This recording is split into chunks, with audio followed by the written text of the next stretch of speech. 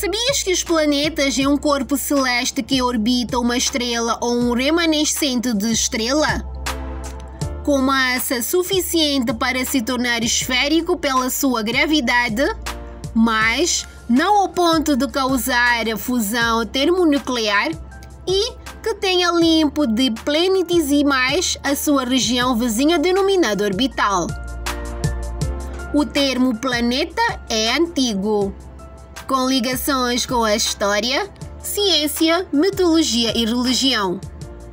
Os planetas eram vistos por muitas culturas antigas como divinos ou emissários de deuses.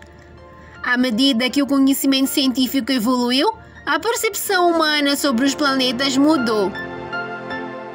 Em 2006, a União Astronômica Internacional adotou oficialmente uma resolução definindo planetas.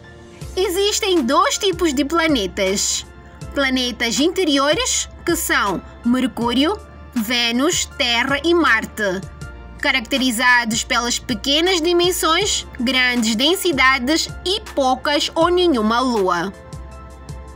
Planetas exteriores, que são Júpiter, Saturno, Urano e Netuno, os quais se destacam pelas enormes dimensões, baixa densidade e inúmeras luas.